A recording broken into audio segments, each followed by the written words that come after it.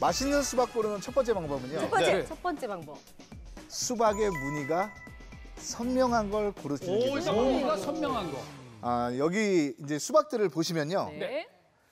초록빛과 검은빛이 뚜렷하게 경계가 돼 있는 게 있습니다.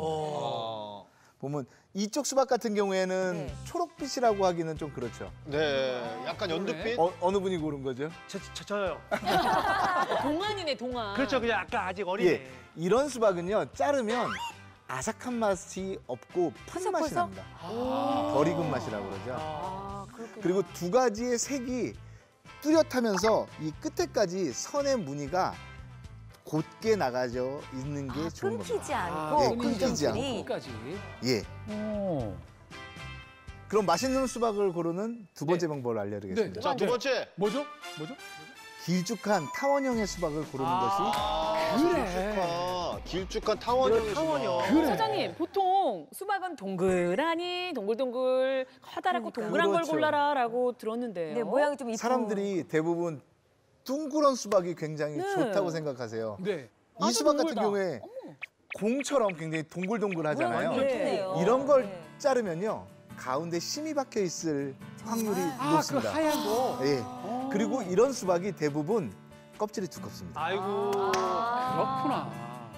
사실 근데 이거 믿을 수가 없거든요. 저분이 사실 뭐 80억을 벌건 벌건 솔직히 아니 저분 말만 믿고 우리가 하면 안 되잖아요. 속을 그걸 봐야 알 수 잘라보자. 있잖아요. 확실하게 어떻게 해보겠다. 그냥 탈락을 시킵니까? 맞아, 맞아. 아까 수박은 제가 인정을 하겠는데 지금 거를 못 어. 믿겠어요. 한번 잘라보도록 네. 할까요? 이 네, 수박을. 확인해 주세요. 이런 수박은 쩍 하고 갈라질 확률도 어, 큽니다. 그게 잘 익은 거 아닌가요? 쩍 하면 잘 갈라지는 게? 어, 소리 봐. 쩍. 뭔가 근데 우와, 한 아니 번에 그냥 엄청 진짜로. 오, 잘 익었는데? 어, 잘 익었는데? 어, 이거 종 아닌가요, 사장님? 이쪽 부분 이쪽에도 심이 좀 박혀 있고요. 아, 아니, 저기 지금 허옇게 심이 아, 박혀 있는. 부분이 있네요. 아, 그 심이 아, 있네. 그러네. 있어, 있어. 그래, 저거 그래. 찔겨, 저거 찔겨. 근데 이런 걸 또 드셔보시면 당도가 낮습니다. 아, 그렇구나. 자, 이렇게 해서 우리 3번, 4번 두 개의 수박이 탈락을 했어요. 근데 지금 남은 수박들이 크기가 좀 다양해요. 네. 어떤 수박, 어떤 크기로 골라야 더 맛있는 건가요? 네, 수박은 수확하는 시기에 따라서 맛있는 크기가 달라지게 됩니다. 아, 하우스 수박이 처음 나오는 시기가 3월부터 시작을 보통 네. 하는데요.